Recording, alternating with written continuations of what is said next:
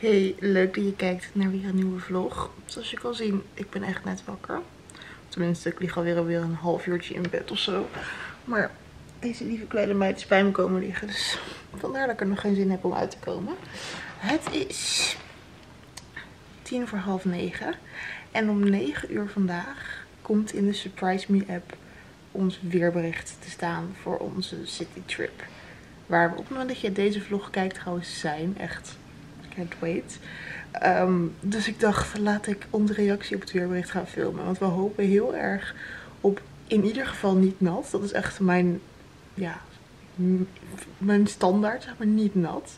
Want gewoon vier dagen daar rond gaan lopen door de regen zou gewoon niet leuk zijn. Ehm, en qua temperatuur heb ik zoiets van, ja weet je, het hoeft maar niet heel warm te zijn. Het zou leuk zijn. Ehm, maar zolang het niet nat is, ben ik tevreden. En mijn moeder hoopt heel erg op toch wel wat lekkerder weer. Ehm, dus ik ben heel benieuwd. Dat gaan we zo meteen doen. Maar laat ik mezelf eerst een beetje wakker krijgen. Mijn kamer indelen. Want kijk, dit is zeg maar hoe mijn kamer er dus uitziet als ik s'nachts ga slapen. Zodat de katten niet mijn planten kunnen mollen en weet ik het wat allemaal. Dus ik wil mijn kamer weer helemaal terug verbouwen. Omkleden, weet ik het wat. En ik gok dat het weerbericht er dan wel is. Oké jongens, ik zit met mama. En het, hij zegt, ga naar het onthulscherm. Oh, jij hebt allemaal nulletjes. Ga naar het Moet je het onthulscherm. wel doen. Nou moet ik iets tekenen. Oh, En je moet zeg maar dat, dat logo. logo. van Surprise Me tekenen. Dat is leuk op zo'n ding. Dat is heel leuk als hij ook nog meewerkt. Dat is een goede test voor of hij het ook gaat doen op het vliegveld. Hij is aan het laden. Wat gaat het worden? Hij, hij is een beetje ra- crazy aan het zijn. Zon met wolk. 17 graden. 17 graden, s'nachts 5.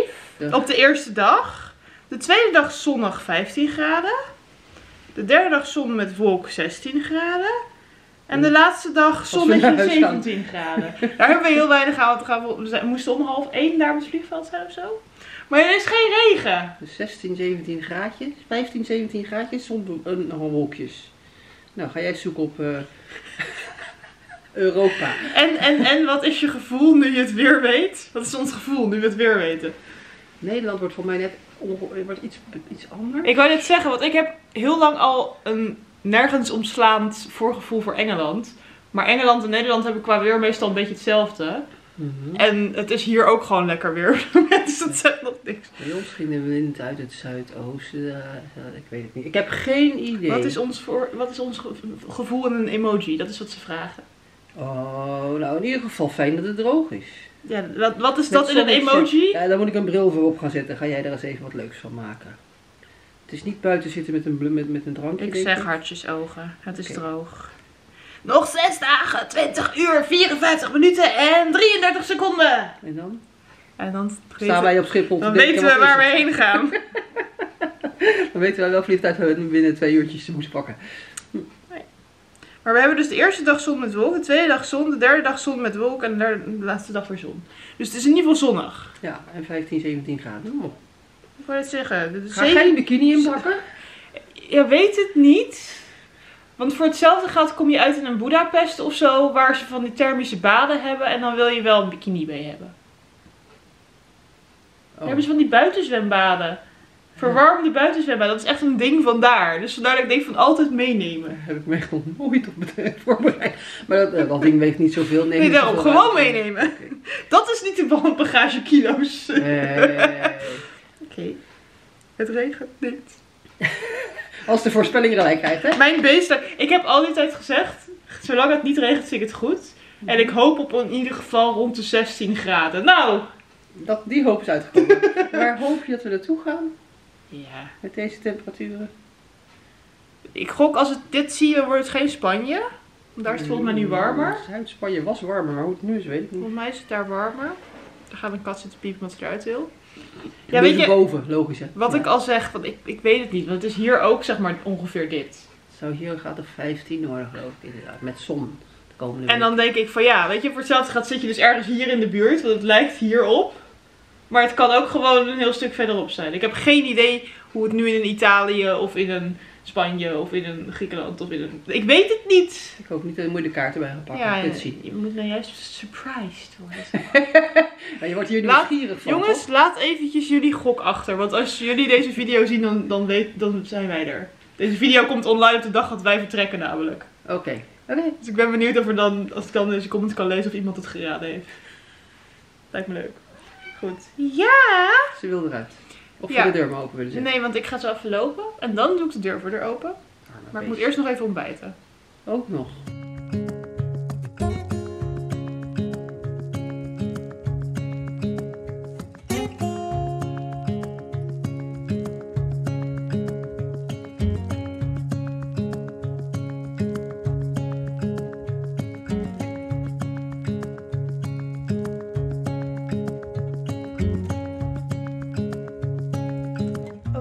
Inmiddels alweer een aantal uur later. Het is echt al drie uur middags. Ik heb vanmiddag samen met mama een eh car mukbang opgenomen. Zij was ook de eerste keer dat ze bij mij in de auto zat sinds ik weer rijd. Dus dat was echt eh, ja, voor haar ook een dingetje. En ik ben voor het eerst de snelweg op geweest. Wel echt letterlijk één afslag waarbij ik niet eens hoefde in te voegen en zo. Maar goed, het was wel weer het stapje van ik ben de snelweg op geweest. En ik zat dus net te kijken. En het weerbericht in de app is alweer aangepast. Het is nu allemaal zonnetje. Gewoon alle vierde dagen is het zonnetje. Dus dat is echt chill. En nu is het de eerste dag dus 20 graden en s'nachts 6. Tweede dag 17 en s'nachts 7. Eh, de derde dag 18 en 7. De laatste dag 21 en 8 s'nachts. Dus het is alleen maar beter geworden. Maar goed, wel chill dat het weerbericht in die app dus ook aanpast. Want ja, een week van tevoren is het weerbericht natuurlijk nooit helemaal betrouwbaar. Dus het is wel chill. Dan kunnen we de dag van tevoren nog even checken of echt een goede dingen inpakken. Mijn moeder zat vanmiddag al van ja, het is jammer dat ze de windkracht er niet bij zetten. Want ja, dat scheelt toch wel in wat voor jas je meeneemt. Dus op zich is 16, 17 graden met een zonnetje hartstikke lekker. Maar als er heel veel wind bij staat, dan wil je toch een dikke jas aan in plaats van een trui met een spijkerjack bijvoorbeeld. Maar goed, ik zei al, we moeten waarschijnlijk gewoon laagjes inpakken. Maar gewoon het feit dat er 20 graden bij staat op de eerste dag. Gewoon een getal met een 2. Zoveel zin in. Maar dan kan het dus ineens toch ook richting een Spanje of zo zitten. Of een Italië. Of... Oh, ik krijg echt de neiging om al het weer in Europa nu de hele week te gaan checken. Om te kijken waar we heen zouden kunnen gaan. Maar goed, ik ga mezelf proberen te bedwingen. Want ehm, ja, het is niet voor niks een surprise trip. Het hoort een verrassing te zijn. Dus ik moet het niet van tevoren al raden. Maar het is natuurlijk ook wel een deel van de lol om gewoon een beetje te gaan gokken. Ehm, heel benieuwd wat het gaat worden. Let me know what jij denkt. Zo, let me know wat jij denkt. Dat was een hele moeilijke zin. Ik wou gelijk thanked gaan maken. Maar goed, ik heb dus vandaag eh, met mama een uh, car mukbang gefilmd. Die staat als het goed is voor jullie al online. En ik moet vandaag nog een heleboel editen. Want ik wil de vlog van vrijdag editen. Ik wil dus die car mukbang editen. Ik wil nog een shop or flop editen. Ja, het is vandaag woensdag en ik werk dus vandaag, morgen en overmorgen nog. En daarna heb ik dus een weekje vrij. Dus ik moet in deze drie dagen nog um, in ieder geval drie hele video's editen. Deze nog filmen. En nog de video voor deze vrijdag, dus voor jullie afgelopen vrijdag um, bewerken. Dus uh, daar heb ik al een deel van gedaan, want het is een gedeelte van de vlog is een samenwerking. En dat deel heb ik al gedaan, zodat het goedgekeurd kon worden wat het al is. Maar de rest van de vlog moet ik nog afmaken. Dus ik heb net een kopje koffie gedronken. Ik ga nu nog even wat uh, ander drinken pakken. Katten zitten buiten, dus ik ga beneden zitten werken. We zijn wezen stemmen. Altijd belangrijk om te stemmen. Ik zou willen zeggen, ga stemmen, maar deze vlog komt er later online. Uh, dus ik hoop dat je gestemd hebt. Nu ga ik wat te drinken pakken. En aan het werk. Inmiddels is het zondag. En op het filmen en editen en alles van deze vlog na heb ik lekker vakantie. Dus um, mama en ik zijn onderweg naar Hoofddorp. Ik heb nog geen vakantie. Mama heeft nog geen vakantie. Die moet gewoon letterlijk werken tot de dag voordat we weggaan. Dus die moet s'avonds dan even de koffer inpakken en doen. Um, het weerbericht blijft trouwens continu veranderen. Dus wat jullie hebben gezien is qua gokken misschien best wel lastig. Alhoewel, het lijkt er nog steeds wel redelijk op. Ik het is nu vier dagen zondag, waarvan de eerste dag 20, dan 17, dan 15, dan weer 17 of zo.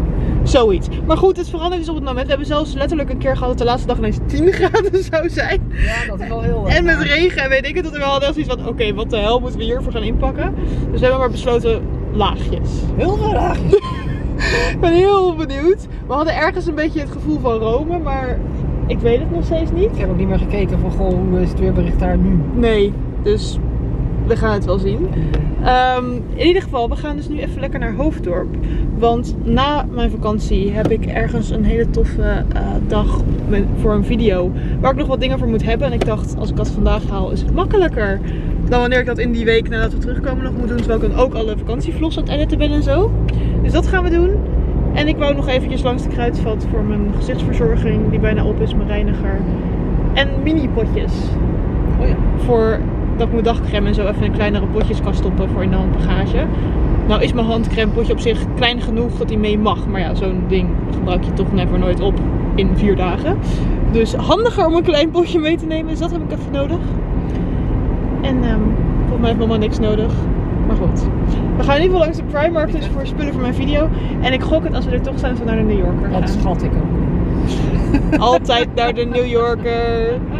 Ik weet niet. Ik vind het gewoon jammer. De New Yorker heeft ook geen webshop. Dus als ik dan in de buurt ben, dan denk ik, oh, dan wil ik even kijken wat ze hebben. Want dat is gewoon letterlijk de enige optie die ik heb. Dat is ook leuk. Ja. En New Yorker heeft soms hele leuke dingen. Ja, ze hebben soms echt helemaal niks. Ja, soms soms hele leuke dingen. Dus ik ben benieuwd. Ik heb nog niet echt op Instagram iets voorbij zien komen. Soms dat ik echt toch denk, ik moet naar de New Yorker. Want ik heb een jurk op, op Instagram gezien en I need it. Dat heb ik nu niet. Dus dat scheelt. Ook onzin dat je iets nodig hebt. Ja, dat, is, dat zijn first world problems. Ja, dat is echt heel erg groot probleem. Maar goed, hè? we gaan dus gezellig even naar Hoofddorp. Een paar winkels in. Die dingen voor die video ga ik niet laten zien, want hè? het komt in een aparte video. En ehm, ja, allemaal surprises hè, onder de komende tijd. Wordt in ieder geval een coole video. Ergens, ergens eind april komt hij waarschijnlijk pas online, dus dat duurt nog wel even. Maar goed, ehm, we gaan eh, shoppen. Ik hoop dat je me kan verstaan, maar ik sta dus bij de New Yorker. En als eerste heb ik deze soort Spencer aan. Dat is in meer kleuren. Ik heb een L aan en hij kost 13 euro. Maar ik vind hem net te cropped of zo. Hij valt echt tot boven mijn broek. In plaats van er net op. Denk ik deze laat hangen. Dan deze blouse. In een hele mooie ja, soort satijn look. En dan dus groen. Ze hadden hem ook in het roze of iets dergelijks. Want een manier viel ik vandaag op heel veel groene items. Ik draag een extra large en hij zit eigenlijk heel erg mooi. Lekker oversized. Dus je kunt hem ook in je broek stoppen of zo opknopen. Ik denk dat ik hem vooral opgeknoopt heel graag zou dragen. En hij kost dus maar 15 euro. Dus wel een beetje... Ja, hij trekt plooien. Dus je moet hem wel strijken of stomen. Maar ik vind hem wel verder echt leuk. Ik zie hem al helemaal voor me met een zwarte broek of zo. Hierop kan in principe ook, maar dan steekt hij wat meer af. Ja, I like it. Hij valt ook wat langer zo over de kont heen. Dus eh gok dat deze meegaat. Mama is even simpel topje aan het doen met een mooie rug. En ze zit gelijk over hoe mooi bruin ze is. Toont in het licht in ieder geval. Meestal toon je in dat licht ook kut. Nou, eh, Dat valt mee. Ik eh, heb het volgende groene item aan. ik, heb hem, ik vind hem heel leuk. Ik denk alleen, ze hadden geen extra large meer, alleen een large. En ik denk dus dat hij bij de borsten mooier had gezeten in een grotere maat. Verder heb ik echt geen grotere maat nodig qua mouwen en zo. Die zakken zelfs een beetje af. Maar ja, bij de boobies vind ik hem niet echt eh, veel voor me doen. Dus nee. Een niet groene item, wat echt prachtig zit. Nee, echt. Zeg maar, die rits kan op 10 centimeter van elkaar of zo. Kijk jij eens. Bleh. Het wordt hem niet. Nee, maar ze had ook geen extra large. En hij was op zich wel stretchy, dus ik wil het proberen. Maar Nee. nee. Verder mooi ding. Als je een kleiner maatje hebt, is hij leuk. Maar ehm, nee. Laatste item. Deze prachtige jurk. Het is dus zeg maar een overslagjurk zonder dat hij echt overslaat. Want er zit zeg maar die onderste flap zit vast. Lukt het, mam? ja, ik vind hem wel echt heel pretty. Het is een maat 44 en hij kost 25 euro. Gok wel dat hij met me meegaat, want ik vind hem echt heel leuk. Hij heeft wel dat hij redelijk hoog open slaat. Maar goed, ik doe er toch bijna altijd wel iets van een broekje onder of een panty. Hij heeft ook lange mouwen, dus waarschijnlijk panty. Maar ik vind hem echt, eh, ja. Ik was bang op bloemetjes gordijn gehalte, maar het valt heel erg mee. Dus deze en die blouse en echt een prachtige kimono voor over je lingerie heen.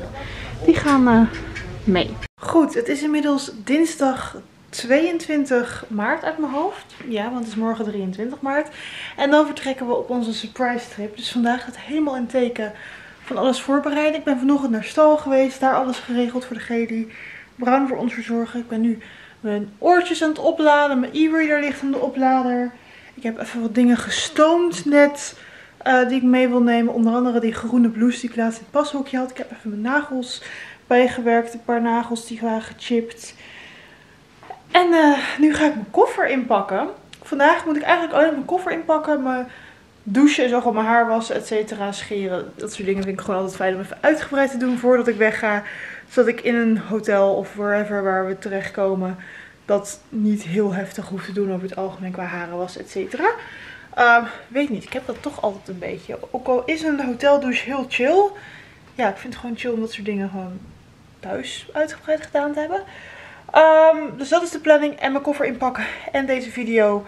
Nou ja, het laatste deel dus filmen en bewerken en inplannen. En dan op het moment dat jullie dit kijken, zitten wij dus op bestemming unknown. En we hebben steeds meer het idee dat het ergens in Duitsland gaat zijn. Wat we ergens een beetje jammer vinden, omdat Duitsland ons allebei niet helemaal trekt. Maar tegelijkertijd, misschien verbaast het ons wel, verrast het ons heel erg en hebben we juist dat we denken, oh, dat is hartstikke gaaf. En voor hetzelfde gaat het helemaal geen Duitsland en zitten we compleet verkeerd te gokken. We will see. Ik ben waarschijnlijk op het moment dat je deze vlog ziet op Instagram allemaal hints aan het delen over waar we zijn, zodat je kunt meeraden. Um, en waarschijnlijk aankomende maandag voor jullie, na mijn weekje vakantie, uh, dan komt de eerste vlog online en komt ook de onthulling van waar we heen gaan. Daar heb ik echt heel veel zin in. Maar ik dacht, ik zal je nog even laten zien wat ik naast de dingen in het pashokje van de week heb gekocht. Jullie staan nogal scheef op een hele stapel spullen op mijn bureau, maar we doen het er even mee. Ik heb alles dus in de Primark tas gedaan, want daar heb ik dus iets gehaald voor een video wat ik even niet ga laten zien. Maar ik heb dus die uh, jurk gekocht, die zogenaamde wikkeljurk. En ik heb dus, deze heb ik in het pashokje niet helemaal goed laten zien. Um, omdat het echt iets is wat ik specifiek over lingerie heel erg mooi vind. Het is een hele mooie kimono met echt van die kanten mouwtjes. Hij was niet te kort, wat ik echt heel erg tof vond. Deze heb ik in de maat ML en deze kostte 20 euro, of dus in 1999. En het leuke is, ik kwam later bij Hunkemuller deze tegen in het rood voor 45 euro, 35 euro. In ieder geval aanzienlijk meer dan wat ik er hiervoor heb betaald. een tipje als je zoiets zoekt. Um, dan heb ik een paar tandpasta's en zo gehaald. Gewoon qua backup. Die liggen in de badkamer. Ik heb een mini deootje gehaald van Odorex. Extra Activity Protection zegt hij. En toen dacht ik dat is top voor een citytrip. Waar je veel gaat wandelen. Uh, ik heb een mini van mijn mondwater gebruikt. Ik heb altijd deze van Kruidvat. De Zero uh, alcohol mondspoeling. Die is, um, ja, heeft mijn tandarts had zoiets van, joh, iets zonder alcohol. Dus dat gebruik ik al jaren. Uh, verder allemaal dingen die al in de badkamer liggen. En ik heb twee backups van de Ordinary Hyaluronic Acid 2% plus B5 gehaald. Ik wilde eigenlijk ook de 100% Plant Derived Squalane halen. Maar uh, die was er niet bij uh, de Douglas daar. Dus ik heb alleen deze twee keer gehaald. En door allemaal aanbiedingen en korting op mijn klantenpas heb ik voor twee iets van 5, 8 euro of zo betaald. In ieder geval echt lekker goedkoop shoppen. En als laatste heb ik een hoed gekocht bij Primark. Ik heb dus jarenlang een uh, hele leuke hoed gehad van Primark. Die hadden ze nu ook weer deze kleur, maar dan met zeg maar een zwart ja, bandje eromheen. Ook iets wat minder groot qua flap. Hoe noem je dat bij een hoed? Uh, maar in ieder geval, die heb ik van hun gehad en die is op een gegeven moment kapot gegaan. Ik denk dat die in het kastje zeg maar boven je hoofd in het vliegtuig. Daar leg ik hem meestal neer omdat het in je koffer vreselijk is om mee te nemen. Dus ik doe hem meestal op mijn hoofd op Schiphol en dan in het kastje boven mijn hoofd. Maar ik denk dat daar dus een koffer er tegenaan is gekomen of zo. Want hij was kapot toen ik op Ibiza aankwam toen in 2019. En toen kon ik telkens geen nieuwe vinden. En ik wil dus eigenlijk liever iets warmer, iets donkerder. Maar ik kwam deze tegen bij Primark voor 4 euro. En toen dacht ik, weet je, ik probeer hem gewoon. Dus ik heb hem opgezet. En het is absoluut een flink grote hoed. Um, ik moet ook nog een beetje zo van, ik weet niet hoe het is met mijn korte haar. Maar goed, voor hetzelfde geld heb ik tegen de tijd dat wij op zonvakantie gaan weer wat langer haar. Je weet nooit hoe dat gaat. Of doe ik het vast en weet ik het wat. Maar deze hoed dus. Uh, gewoon heel basic verder. En absoluut niet voor deze citytrip bedoeld. Maar ik wilde hem wel vast meenemen. Want als ik op zoek ben naar hoeden kan ik ze niet vinden. Dus nu liep ik er tegenaan. Toen dacht ik, ik neem hem gewoon mee. Deze past echt bij alles, juist omdat hij helemaal verder zo basic is. Maar goed, 4 euro dus, mocht je nog op zoek zijn naar hoeden. En ze hadden dus ook deze kleur met zo'n zwarte band. En dan een iets ja, minder floppy model, zeg maar. Ehm, maar goed, ik ga outfits uitzoeken. Al mijn skincare en zo bij elkaar rapen. Ik heb mijn dagcreme al in een mini potje gedaan, wat mijn moeder nog ergens had liggen.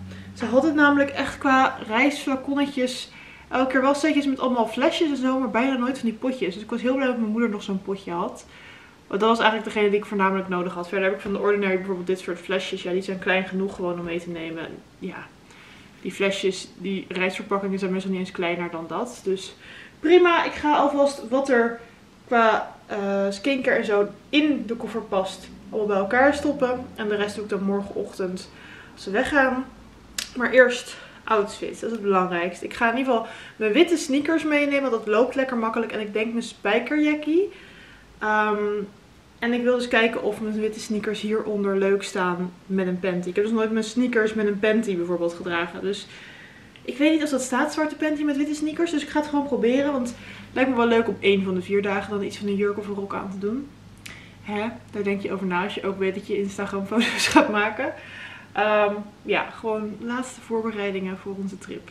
Ik ben zo benieuwd waar ik morgen om deze tijd ben. Oké, ik denk niet dat mijn witte sneakers zo eronder mijn eerste keus zouden zijn. Als ik deze outfits normaal gesproken zou uitkiezen. Maar ik vind het ook absoluut niet heel storend staan of zo. Dus um, ja, denk dat ik deze outfit gewoon mee ga nemen. Qua comfort zijn deze schoenen namelijk gewoon de schoenen waar ik het langst op kan lopen. En dat is even het belangrijkste tijdens een citytrip. Dus um, ja, deze outfit. Het is ook lekker luchtig om mee te nemen. Spijkerjackie eroverheen. En ik zag dat sowieso ergens tussen de 17 en 19 graden wordt of zo. Dus misschien dat dit dan zelfs wel al genoeg is zonder spijkerjack. Maar goed, dat uh, zie ik daar wel. Kan ik altijd nog om mijn middel slaan.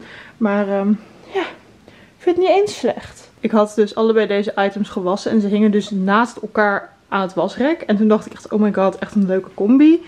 Maar nu ik het zo aan heb, I don't know. Ik vind het een beetje zo vormloos, omdat je ja, zo'n wijde blouse hebt. Maar tegelijkertijd vind het opgeknoopt vaak dan weer niet geweldig bij zo'n legging. Ja, ik ben gewoon niet zo van de leggings als broek. Dus vandaar dat ik juist het fijn vind als er dan een beetje iets langs overheen valt. Kijk, dat vind ik dan wel weer mooi. Maar ja, ik weet niet. Ik voel het niet helemaal. Met het er overheen vind ik het dan ineens weer wel een leuke outfit. Maar ja, ik denk dat ja, niet zo koud is dat ik continu een spijkerjack aan ga hebben. Ik heb het nu bijvoorbeeld met omkleden het ook al heet.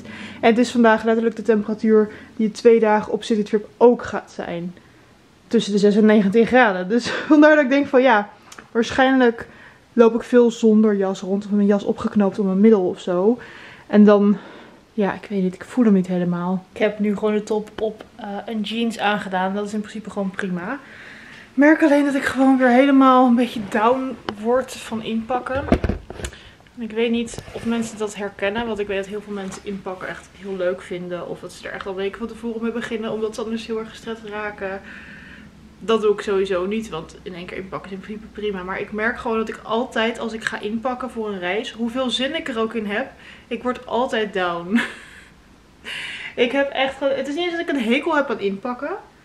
Maar meer, dan komen er ineens allemaal emoties omhoog van, oh, maar dan ben ik hier straks een paar dagen niet met mijn katten. Het gaat letterlijk over vier dagen. Maar goed, het is wel de eerste keer dat ze bijvoorbeeld ja, alleen achterlaten. Ik weet niet, ik word altijd emotioneel op het dat ik ga inpakken. Kijk, dit bedoel ik. Welkom bij iemand die gewoon altijd hoog in zijn emoties zit. Dit is dus ik met inpakken standaard. En ik weet dat heel veel mensen denken inpakken is juist een leuk iets. Ja, ik vraag me af of het dat voor mij ooit gaat worden. Ik weet niet. Ik heb het eigenlijk al jaren. Ik heb zelfs een periode in mijn leven gehad waarop ik niet op vakantie, niet op reis wilde.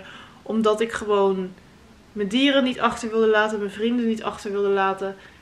En gewoon ja, er geen zin in had om die reden. En tegenwoordig, ik hou van reizen. Ik heb echt zin in deze citytrip. Ik heb echt zin om een surprise reis van mijn bucketlist af te halen. Misschien wel een citytrip van mijn bucketlist te halen die er al op staat. Want hè, ik heb heel veel steden op mijn bucketlist staan. Dus voor hetzelfde gaat gaan we naar een van die toe. En echt, ik heb er heel veel zin in. Ik ben heel benieuwd waar we morgen zijn en weet ik het wat. Maar inpakken is altijd echt freaking emotioneel. En ik dacht, weet je, misschien moet ik dit maar gewoon vertellen. Want ik ben er vast niet de enige in. Want je bent nooit de enige in iets. Maar ik ben echt iemand... Inpakken is voor mij alles behalve een feestje. Zodra ik eenmaal op het vliegtuig zit, et cetera, is er niks aan de hand. En heb ik er freaking veel zin in. Maar morgen ook weggaan en zo is ook altijd een dingetje. Ik vind de security doorgaan en zo ook altijd echt... Ik weet niet. Het is niet eens dat ik bang ben dat ik dan per ongeluk iets bij me heb of zo, weet je wel. Maar gewoon meer... Het moet altijd zo gehaast, weet je. Dan moet je dingen uit je tas halen en dan moet altijd hop, hop, hop, hop. En het is altijd anders. En bij elke keer dat je op het vliegveld bent, de ene keer moeten dingen er wel uit, de andere keer moeten de dingen er niet uit. Ik weet niet, ik vind het altijd heel stressvol. Ja, ik weet niet. Misschien is dat wel een HSP dingetje, maar misschien ook helemaal niet. Maar ik wil het gewoon even bespreekbaar maken. Want hè, ik bespreek graag dingen die anderen niet bespreken. En ik dacht, ik ben hier vast niet enig in. Dus al help ik één iemand door dit te vertellen, dan ben ik al blij. Goed. Ik ga even off-camera verder. Misschien dat dat een beetje helpt. Ga ik gewoon even een happy muziekje opzetten. Kan ik gewoon dansend mijn koffer inpakken. Misschien werkt dat.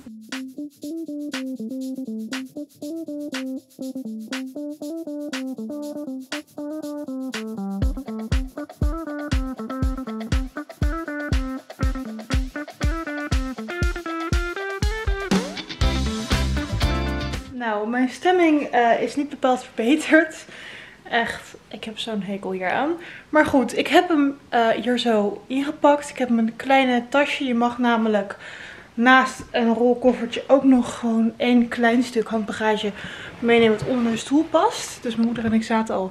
Dan is het vast geen EasyJet waar we mee vliegen. Want die doen er altijd heel moeilijk over. Um, ik moet alleen mijn batterij van mijn camera et cetera nog opladen en erbij stoppen aantal producten die ik gewoon nog moet gebruiken uit de badkamer, et cetera. Tandenborstel, tandpasta, dat soort dingen. Maar volgens mij ben ik er verder redelijk. Ja, uh, ik moet nog deze vlog editen en ik moet nog even douchen, et cetera. Dus ik ga de vlog hierbij ook afsluiten. Ik hoop dat je hem leuk vond om te zien. Uh, het laatste deel was misschien een beetje down. Maar ja, ik wil daar ook gewoon eerlijk over zijn. Ik weet niet. Ik kreeg op Instagram toen ik het net deelde al echt een heleboel reacties van anderen die dat ook hadden. Dus wat dat betreft denk ik van inderdaad, wat ik al zei, je bent nooit alleen in iets. Hopelijk helpt het feit dat ik het erover heb. Ja, een beetje dat je weet dat je niet alleen bent. Maar goed. Ik hoop in ieder geval dat je deze video leuk vond. Als het zo was, dan nog even een duimpje omhoog. En vergeet je onder niet te abonneren en op het belletje te klikken. Zodat je geen enkele video meer van me mist. Uh, aankomende vrijdag komt er nog gewoon een andere video aan. Een shop or flop. En dan vanaf volgende week maandag, als ik terug ben van vakantie, dan komen de city trip vlogs van mijn surprise reisje. Uh, daar heb ik wel echt heel erg veel zin in. Ik ben echt heel benieuwd waar ik morgen ben. Maar voor nu moet ik eerst even uit die uh, bui weer zien te komen. Sina kwam al uitgebreid knuffelen net om me. Ja, hij voelde het denk ik aan. Ze zijn beter aan het spelen en hij kwam echt bewust naar binnen om even te knuffelen. Zo van, joh, vrouwtje heeft moeilijk. Kom even knuffelen. En dan denk ik, oh, ik moet je straks achterlaten. En ik weet ook wel gewoon dat er goed voor ze gezorgd gaat worden. En dat het letterlijk vier dagen zijn. Dat betreft ben ik heel blij dat het in eerste instantie vier dagen is. En niet gelijk drie weken zoals in de zomer weggaan. Een soort van even wennen eraan of zo. Maar ja, goed te veel geluld alweer. Ik hoop dat je de video leuk vond. Als dat zo is, doe nog even dat duimpje omhoog dus. En dan zie ik je heel graag terug bij de volgende video. Doei doei!